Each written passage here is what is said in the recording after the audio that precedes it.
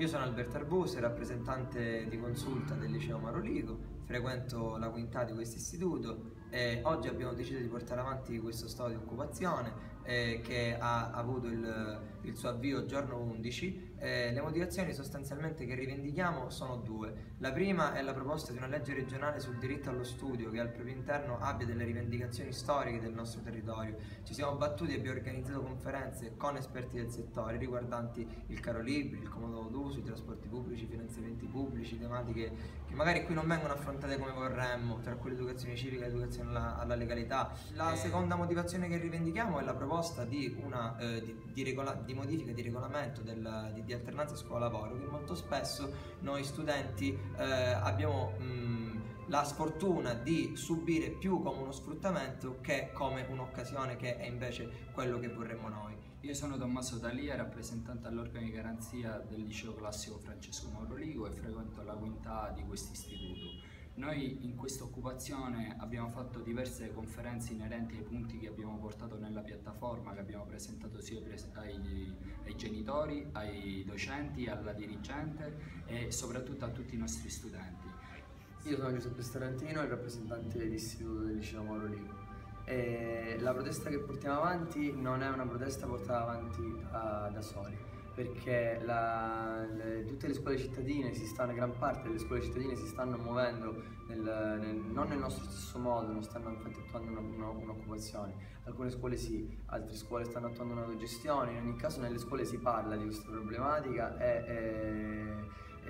come potete appunto vedere una, la problematica è comune e soprattutto cercheremo, l'obiettivo è proprio quello di portare avanti una proposta che sia comune. Un altro aspetto che vogliamo sottolineare, che ci teniamo soprattutto, è che noi non stiamo interrompendo il servizio pubblico in quanto la segreteria rispetta i suoi orari, il personale ATA lavora eh, normalmente, se c'è la maggioranza degli alunni che vuole fare lezione può fare lezione regolarmente. In più un altro aspetto che eh, ci, che teniamo, eh, a cui teniamo moltissimo, è che noi non, non abbiamo attuato questa forma di protesta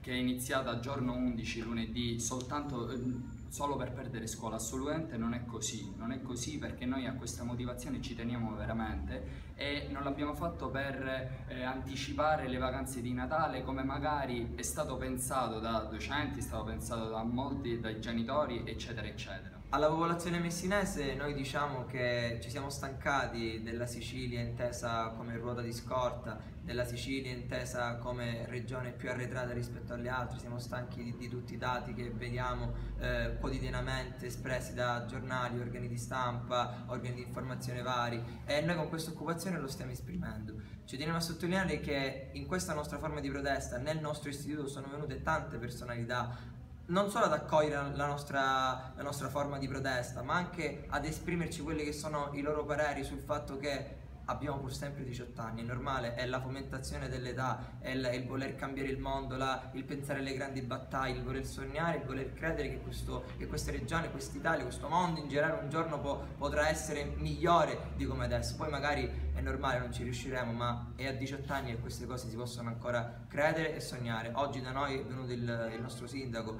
eh, Renato Accorinti, nei giorni precedenti sono venuti altre personalità, eh, altri organi di stampa, sarebbe dovuto venire il commissario della città metropolitana, eh, sarebbero dovuti venire ehm, il presidente dell'AST, professori del, dell'Università di Messina, insomma queste persone non sono pazze, non sono criminali perché entrano in, in un liceo occupato, sono persone che ci hanno capito e che si sono resi conto che questa battaglia o si fa ora o non si fa più.